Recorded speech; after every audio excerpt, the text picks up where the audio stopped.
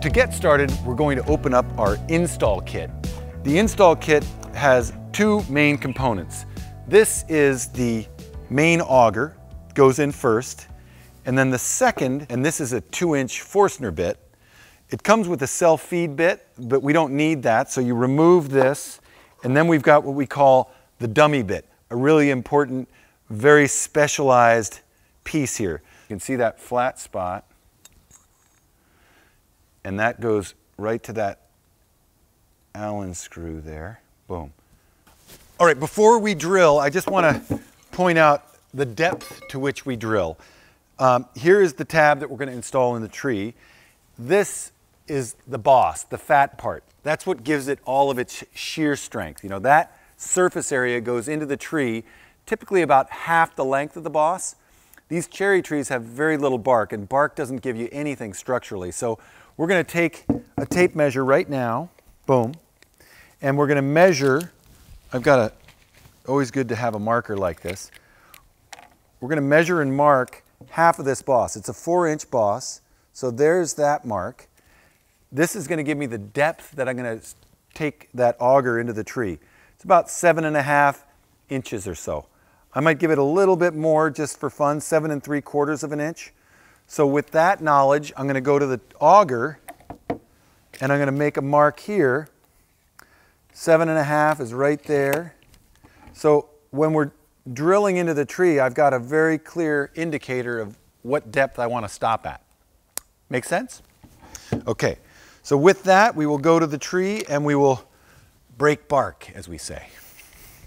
So we're ready to drill into the tree, and I have chosen to stay at a, a relatively low level because it's easier to film rather than be up 10 feet in the air.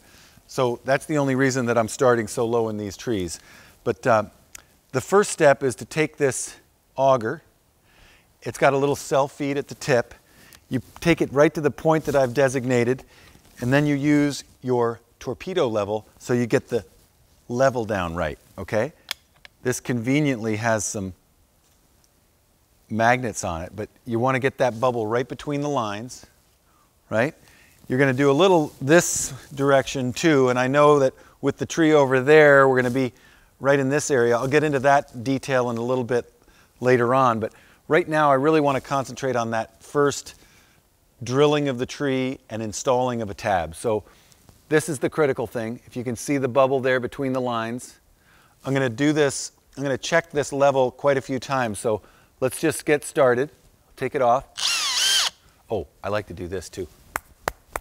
Hang in there, buddy. It's just a pinprick. Okay, we've got some good connection there. I'm gonna now check again. Looks pretty good. I'm kind of feeling it against my body to know that that's the level that I like. You see that nice marker will tell me how far in I'm gonna go. These augers cut like mad, so be ready.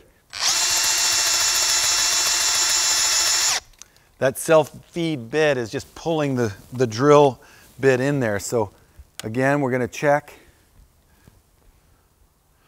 Okay, it looks, it looks pretty good. I might have been going up a little bit high, so I'm going to just kind of correct it a little bit, and we'll keep going.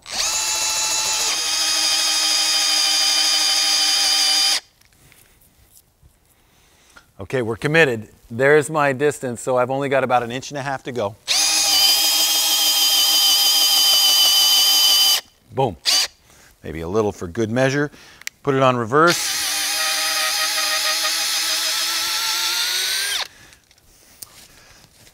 Okay, now I've got the Forstner bit. It's a two inch diameter bit that will make room for the boss of the tab. I'm tightening it on here. This dummy goes in. It's a slightly smaller diameter than the auger bit that I just put in. There it is. So it slides in easily. Oh, there we go, get it in the right orientation. Now this, again, we only want to go that two inches of depth. So if I just hold this up here for a moment, I will take my same marker and go two inches back. So two inches is right about where the shoulder is here. So I know when I get to that point that I'm going to stop and it's at that point that we'll take the uh, the tab and put it into the tree. I can bite a little bit, so. Okay, come on in and have a look. This is really pretty. That is ready to receive the tab. So here we are with the tab. Um, first order of business, Charlie's bringing out the uh, WD-40. Woo, got away from you there. My Um, always good to put a little lubricant on this stuff.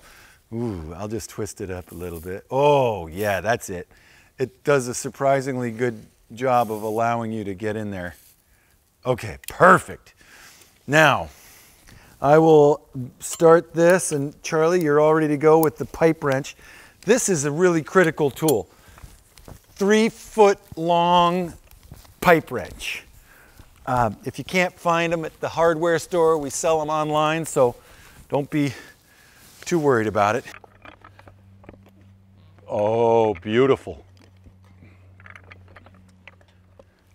So we hit the mark and we also can feel quite clearly when you hit the back of that hole.